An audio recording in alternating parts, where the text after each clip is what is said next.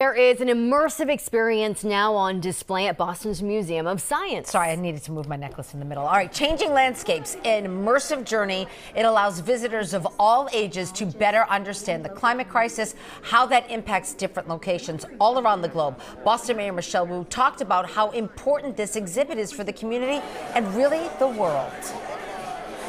When you go through the exhibit, it, it literally is taking the treasures of the world, bringing it right to the fingertips and the senses of families here in Boston. And this is a tremendous gift that many, many are going to benefit from, not just in our area, but, but far beyond as well.